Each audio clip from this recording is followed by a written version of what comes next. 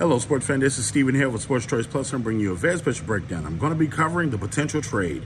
Before I get right into that, I want to make sure you're subscribed to the YouTube channel so you can get all the updates and all the breakdowns. Without further ado, let's get right into it.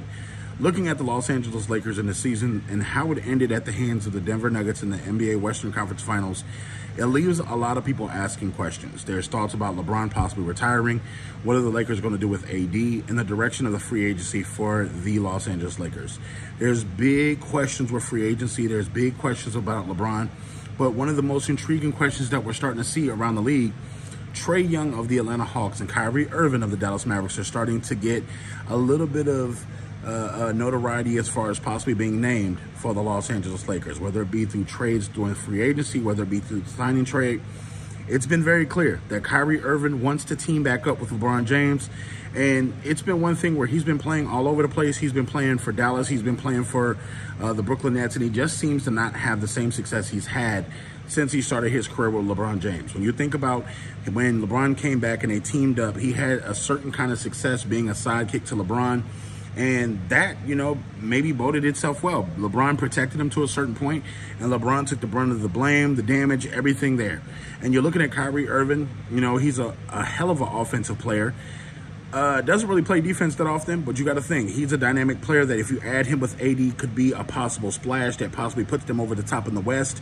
And you're looking at somebody that can play the offensive game when LeBron's not in the actual game. Somebody who can carry quarters of basketball while LeBron's either hurt, injured, or not in the game, where they can carry the team when AD's not possibly playing. You're looking at what Kyrie Irving brings to the table. He's a wizard, a basketball savant, being able to offensively dribble and, and finish with sauce, finish with English, either hand at the basket. He's literally a point guard that can do it all. Um, he can shoot, he can pass, he can do a little bit of everything. When you're looking at Trae Young, it's a little bit more complicated when you're talking about Trae Young. Trae Young is a, a hot shooting, uh, essential point guard slash shooting guard. When you look at what he does for the Atlanta Hawks, he's their instant offense. He's their game starter. Where they go, he goes. Where essentially, if he catches fire, they tend to win games. But you saw what happened. You know, when he ran out of gas, the Atlanta Hawks essentially ran out of gas. Looking at the play-in game, looking at the, the, the overall playoff seasons that they've had, Trae Young has been a part of the Atlanta Hawks' success. What does that mean for him possibly moving to the Lakers? It means he's a guy that's going to be able to live in that moment when LeBron's not there. He's going to be able to carry the offense. He's a young guy. He can get up and down the court. He's undersized, but he does not really play defense. So that's going to be a concern. Uh, the Lakers have to look into that as well. But you think he's instant offense. He's somebody that the Lakers can build around. And you think you can possibly pair him with a LeBron and an AD and see where it goes. So at this point, you do have two big options if you're the Lakers, possibly trading for uh, Trae Young or either possibly trading for Kyrie Irving. The sky is the limit, but you got to think the Lakers have to do something to get this team better for next year.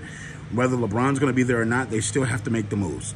So this is going to be what's necessary, and I'm I'm really starting to think that you know the Lakers time is ticking because LeBron is not getting any younger. So. All you Lakers fans, all you NBA fans, get in the comment section. Let me know what you think about the news report. Let your voice be heard in the comment section. We definitely will go back and forth and debate. And we'll see you on the very next video.